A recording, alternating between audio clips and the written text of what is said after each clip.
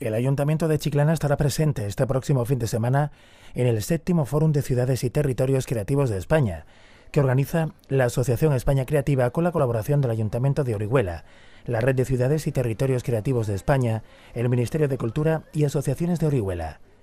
un evento que se desarrollará en el auditorio de la CAM de Orihuela y en el que participarán una veintena de municipios de España que presentarán sus proyectos finalistas a la Copa de España Creativa 2020, así como dos ciudades creativas de la UNESCO.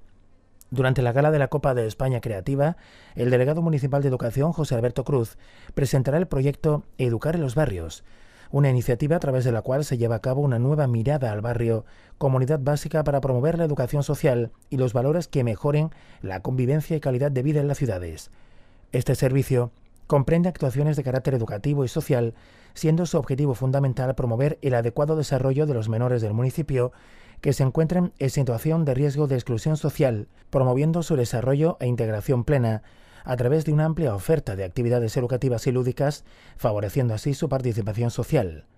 José Alberto Cruz ha aclarado que el proyecto se dirige a menores de edades comprendidas entre los 6 y 12 años en situación de riesgo social. El proyecto Educar en los Barrios tiene como objetivos específicos proporcionar a los menores las herramientas oportunas para fomentar el descubrimiento y conocimiento profundo de sí mismos.